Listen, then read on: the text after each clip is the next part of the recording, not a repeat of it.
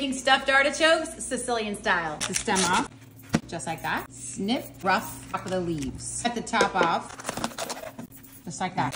Open it. Squeeze two lemons in water. Artichokes in, face side down. Mix them with cold water. Perfect. Let them drain face side down. Stuffing. Italian breadcrumb, pecorino romano, salt and pepper, parsley. All this garlic, but just a little bit in the stuffing. Of olive oil to moisten it up. Wrap the artichoke. Spread it open. Garlic all throughout. Breadcrumbs between all the leaves.